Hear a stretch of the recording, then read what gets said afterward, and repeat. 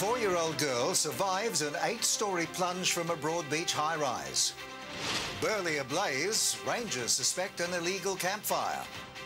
And the Titans cop a princely fine, caught rorting the salary cap. Live from 50 Cavill Avenue, Surfers Paradise. This is 9 Gold Coast News. Good evening. A miraculous story of survival this evening after a four-year-old girl plunged from the eighth floor of a Broadbeach high-rise. Let's go live to Curry-Ann Greenbank, who's outside the luxury Phoenician resort. Curry, what happened? Yeah, well done, Super Mum. How would it be having Carla Gilbert as your mum, Bruce? Amazing. Well, you'd, you'd hope the genes had passed through, wouldn't you? Thank you, Paddy. Oh, There is rain on the way. We're going to find out how much and when it's likely to fall after the break. Welcome back. Here are the stories coming up at 6. Next, miracle survival. How did a four-year-old girl fall eight floors from a Broadbeach high? Dieting is the best way to lose weight.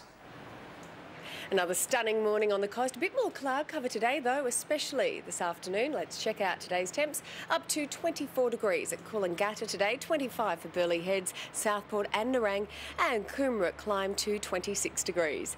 At the moment here in Surfers Paradise, it's 20 degrees. Nice conditions if you're heading out for a dive tomorrow. Right now, visibility is around 8 metres and the water temp a little bit cool on 19 degrees. Variable winds tomorrow, seas below 1 metre, increasing by early evening. And you've probably noticed the sun is up quite early these days as we edge closer to summer. Tomorrow, sunrise will be around 8 minutes past 5. Well, we did see some showers this afternoon, mostly down the southern end of the coast. A few clouds forecast for us tomorrow, and we can expect a shower or two later in the day, a top of 26 degrees. And looking further ahead to the weekend, an early shower on Saturday. Tops of 24, and at this stage, much the same for Sunday. And now, here are the boys with what's happening on the water.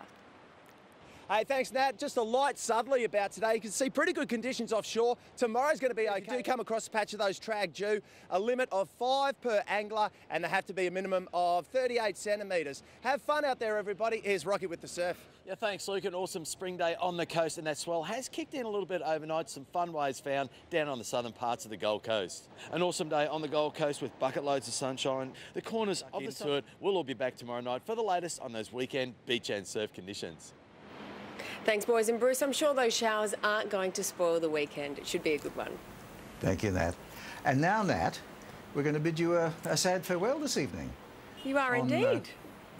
Well, on behalf of the, the Nine Gold Coast News team, um, we've loved having you back on the balcony, and uh, but I do know that you're going to enjoy spending more time with your beautiful family. So well done. Absolutely. Enjoy. Thank you so much, Bruce. I've had an absolute mate. ball working with you this year and all the team here at Nine Gold Coast News. Thanks for having me.